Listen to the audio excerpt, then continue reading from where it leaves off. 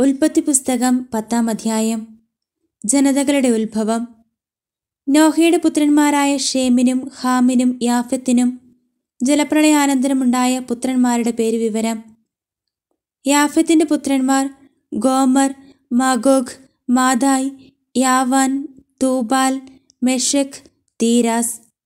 ഗോമറിന്റെ പുത്രന്മാർ അഷ്കനാസ് റീഫത്ത് തോഗർമ. യാവാന്റെ പുത്രന്മാർ എലീഷ താർഷിഷ് കിത്തിം ദോദാനിം. ഇവരുടെ സന്തതികളാണ് കടലോരത്തും ദ്വീപുകളിലുമുള്ള ജനങ്ങൾ. അവർ തന്താങ്ങളുടെ ദേശങ്ങളിൽ വെവ്വേറെ ഭാഷകൾ സംസാരിച്ച് വെവ്വേറെ ഗോത്രങ്ങളും ജനതകളുമായി പാർത്തുവരുന്നു ഹാമിന്റെ പുത്രന്മാർ കുഷ് മീസ്രായിം ഫുത് കാനാൻ എന്നിവർ. കുഷിന്റെ പുത്രന്മാർ സേബ ഹവില സപ്ത രാമ സപ്തേക്ക. റാമായുടെ മക്കളാണ് ഷെബായും ദാദാനും. കുഷിന് നിമ്രോദ് എന്നൊരു പുത്രൻ ജനിച്ചു. അവനാണ് ഭൂമിയിലെ ആദ്യത്തെ വീരപുരുഷൻ. അവൻ കർത്താവിന്റെ മുൻപിൽ ഒരു നായാട്ടു വീരനായിരുന്നു അതുകൊണ്ട് കർത്താവിന്റെ മുൻപിൽ നിമ്രോദിനെ പോലെ ഒരു നായാട്ടു വീരൻ എന്ന് ചൊല്ലുണ്ടായി. ആരംഭത്തിൽ അവന്റെ രാജ്യം ഷീനാർ ദേശത്തെ ബാബേലും ഏരക്കും അക്കാദുമടങ്ങിയതായിരുന്നു. അവിടെ നിന്ന് അവൻ അഷൂറിലേക്ക് കടന്ന് നിനവെ റഹോബോത്ത് പട്ടണം കാല എന്നിവ പണിതു. നിനവേക്കും കാലാക്കും മധ്യേ റസേൻ എന്ന വലിയ നഗരവും അവൻ നിർമ്മിച്ചു. മിസ്രൈമിന്റെ മക്കളാണ് ലൂദിം അനാമിം ലഹാബിം നഫ്തുഹിം പത്രുസിം കസ്ലുഹിം കഫ്തോറിം എന്നിവർ. കസ്ലുഹിമിൽ നിന്നാണ് ഫിലിസ്തീനയുടെ ഉത്ഭവം.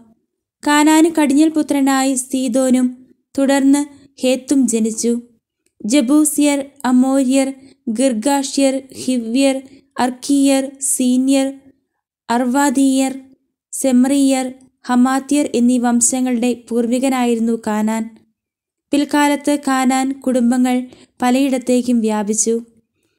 കാനാൻ വംശജരുടെ നാട് സീതോനിൽ തുടങ്ങി ഗരാറിന് നേർക്ക് ഗാസ വരെയും സോതോമിനും ഗൊമോറായ്ക്കും അത്മായ്ക്കും സെബോയിമിനും നേർക്ക് ലാഷ വരെയും നീണ്ടുകിടന്നു. ഇതാണ് ഭാഷയും ദേശവും കുലവും അനുസരിച്ച് ഹാവിന്റെ സന്തതി പരമ്പര. യാഫത്തിന്റെ മൂത്ത സഹോദരനായ ഷേമിന് മക്കളുണ്ടായി. അവൻ ഏബറിന്റെ മക്കൾക്ക് പൂർവപിതാവാണ്. ഷേമിന്റെ പുത്രന്മാർ Elam Ashur Arphaxad Lud Aram എന്നിവരും. ആരാമിന്റെ പുത്രന്മാർ ഊസ് ഹൂൽ ഗേത്തർ മാഷ് എന്നിവരുമായിരുന്നു. അർപ്പക്ഷാദിന് ഷേലാഹും ഷേലാഹിന് ഏബറും ജനിച്ചു. ഏബറിന് രണ്ട് പുത്രന്മാരുണ്ടായി. ഒരുവന്റെ പേര് പെലഖ്. കാരണം അവന്റെ കാലത്താണ് അവർ ഭൂമി വീതിച്ചത്. അവന്റെ സഹോദരന്റെ പേർ യോക്താൻ. യോക്താന്റെ പുത്രന്മാരായിരുന്നു അൽമോദാദ് ഷേലഫ് ഹസർ ഹസർമവെത്ത് യാരഹ് ഹദോറാം ഊസാൽ ദിക്ല ഓബാൽ അഭിമായേൽ ഷെബ ഓഫീർ ഹവില യോബാബ് എന്നിവ.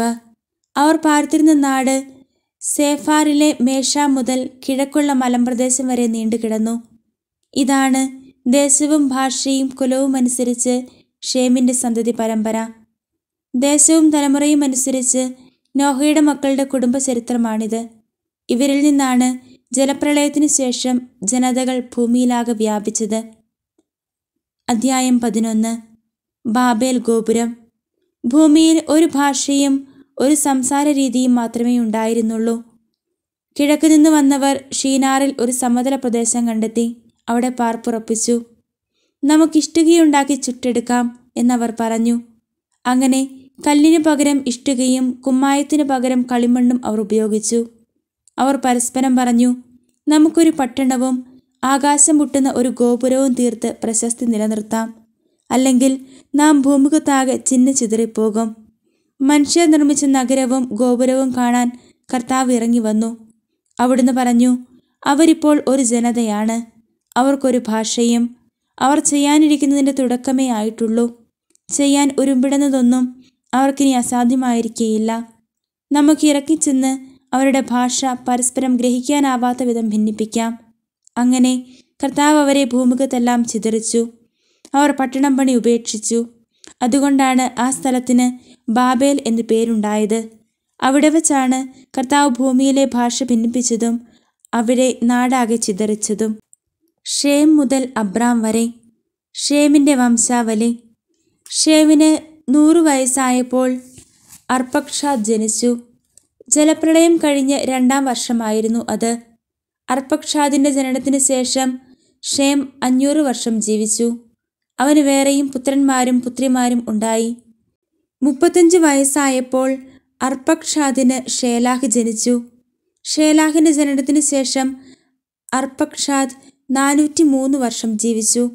അവന് വേറെയും പുത്രന്മാരും പുത്രിമാരും ഉണ്ടായി. മുപ്പത് വയസ്സായപ്പോൾ ഷേലാഹിന് ഏബർ ജനിച്ചു. ഏബർ ജനിച്ചതിന് ശേഷം നാനൂറ്റി മൂന്ന് വർഷം ഷേലാഹ് ജീവിച്ചു. അവന് വേറെയും പുത്രന്മാരും പുത്രിമാരും ഉണ്ടായി. മുപ്പത്തിനാല് വയസ്സായപ്പോൾ ഏബറിന് പേലഗ് ജനിച്ചു. പേലഗിന്റെ ജനനത്തിന് ശേഷം ഏബർ നാനൂറ്റി മുപ്പത് വർഷം ജീവിച്ചു. അവന് വേറെയും പുത്രന്മാരും പുത്രിമാരും ഉണ്ടായി.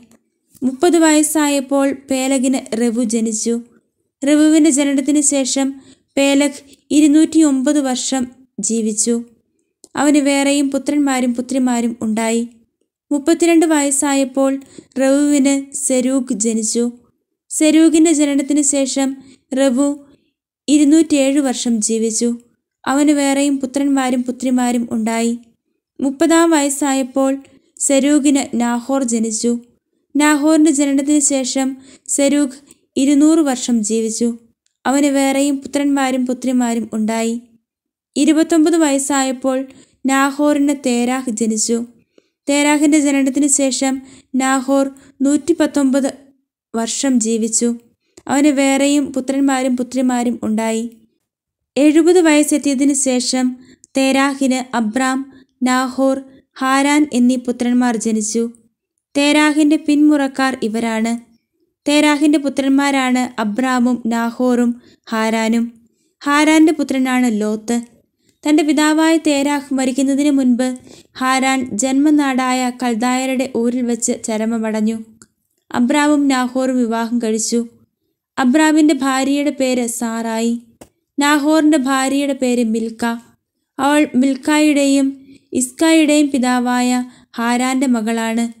സാറായി വന്ധിയായിരുന്നു അവൾക്ക് മക്കളുണ്ടായില്ല തേരാഹ് കൽദായരുടെ ഊരിൽ നിന്ന് കാനാൻ ദേശത്തേക്ക് യാത്ര പുറപ്പെട്ടു. മകൻ അബ്രാമിനെയും പേരക്കിടാവും ഹാരാന്റെ മകനുമായ ലോത്തിനെയും അബ്രാമിന്റെ ഭാര്യയും തന്റെ മരുമകളുമായ സാറായിയെയും അവൻ കൂടെ കൊണ്ടുപോയി. അവർ ഹാരാനിലെത്തി അവിടെ വാസമുറപ്പിച്ചു തേരാഹ് ഇരുന്നൂറ്റഞ്ച് വർഷം ജീവിച്ചിരുന്നു. അവൻ ഹാരാനിൽ വെച്ച് മൃതിയടഞ്ഞു. സങ്കീർത്തനം രണ്ട്. കർത്താവിന്റെ അഭിഷിക്തൻ. ജനതകൾ ഇളകിമറിയുന്നതെന്തിന്? ജനങ്ങൾ എന്തിന് വ്യർത്ഥമായി ഗൂഢാലോചന നടത്തുന്നു? കർത്താവിനും അവിടുത്തെ അഭിഷിക്തനും എതിരെ ഭൂമിയിലെ രാജാക്കന്മാർ അണിനിരക്കുന്നു. ഭരണാധിപന്മാർ കൂടിയാലോചിക്കുന്നു. അവർ വച്ച വിലങ്ങുകൾ തകർക്കാം. അവരുടെ ചങ്ങല പൊട്ടിച്ച് മോചനം നേടാം. സ്വർഗത്തിലിരിക്കുന്നവൻ അത് കേട്ട് ചിരിക്കുന്നു. കർത്താവ് അവരെ പരിഹസിക്കുന്നു. അവിടുന്ന് അവരോട് കോപത്തോടെ സംസാരിക്കും. ക്രോധത്തോടെ അവരെ സംഭീതരാക്കും.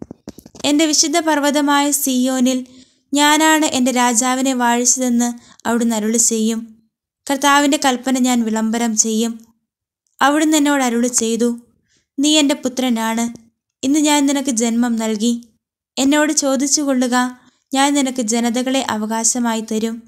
ഭൂമിയുടെ അതിരുകൾ നിനക്ക് അധീനമാകും. ഇരുമ്പ് ദണ്ടുകൊണ്ട് നീ അവരെ തകർക്കും. മൺപാത്രത്തെ എന്നതുപോലെ നീ അവരെ അടിച്ചുടയ്ക്കും. രാജാക്കന്മാരെ വിവേകമുള്ളവരായിരിക്കുവിൻ. ഭൂമിയുടെ അധിപന്മാരെ സൂക്ഷിച്ചുകൊള്ളുവിൻ. ഭയത്തോടെ കർത്താവിന് ശുശ്രൂഷ ചെയ്യുവൻ. വിറയലോടെ അവിടുത്തെ പാദം ചുംബിക്കുവൻ. അല്ലെങ്കിൽ അവിടുന്ന് കോപിക്കുകയും നിങ്ങൾ വഴിയിൽ വെച്ച് നശിക്കുകയും ചെയ്യും. അവിടുത്തെ കോപം ക്ഷണത്തിൽ ജ്വലിക്കുന്നു. കർത്താവിൽ ശരണം വയ്ക്കുന്നവർ ഭാഗ്യവാന്മാർ.